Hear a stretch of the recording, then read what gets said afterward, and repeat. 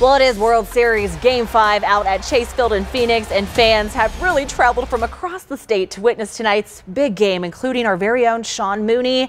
And Sean, hopefully you're giving some positive vibes out there to the D-backs today. How's it going?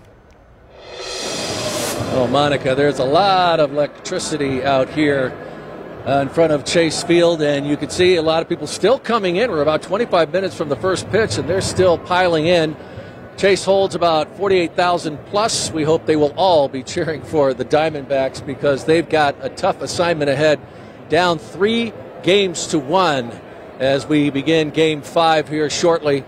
Uh, but it is possible. If you remember back in 2016, the Cubs did it against Cleveland. So we're saying there is still a chance. And right now, I want to get a little more into the weeds about this game. I want to bring in our sports director, Matt Reynoldson to talk a little bit more. Let's first, before we even talk about tonight, uh, a little more about this team. I mean, they have some grit. They definitely do. I mean, a tough summer. You mentioned 16 and 31, that awful Yeah. stretch of 47 games. But this team has answered back all season. They've certainly done it all postseason. Their backs were against the wall going into Philly in the National League Championship Series, Right. a, t- a, ga- a place that no team had won in the postseason. They won two to win the NLCS. Now, uh, pitching is always a big factor. They got Gallen on the mound tonight. Uh, how big a factor is that? And then, what do you think is the big key to this game? Well, I think it's a big factor that Ryne Nelson ate up like five innings yesterday. That's a big factor because it means the guys behind Zach Gallen will be able to pitch. They do have all three of their bullpen guys, their main bullpen guys, ready to go tonight. Yeah. That includes Arizona, former Arizona Wildcat Kevin Ginkel as well as closer Paul Sewald.